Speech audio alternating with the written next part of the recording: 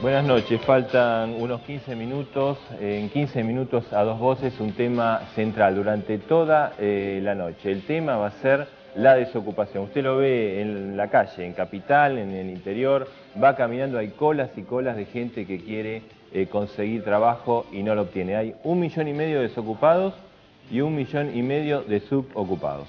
¿Quién no conoce un desocupado cerca de su casa, en su edificio, en su familia? Nosotros le vamos a explicar no solamente por qué hay esta cantidad, sino que van a venir economistas de todas las extracciones, gente del Ministerio de Trabajo que viene a dar la cara, y además desocupados de carne y hueso. ¿Qué pasa más allá de la falta de ocupación? ¿Qué le pasa a un jefe de familia cuando se queda sin trabajo?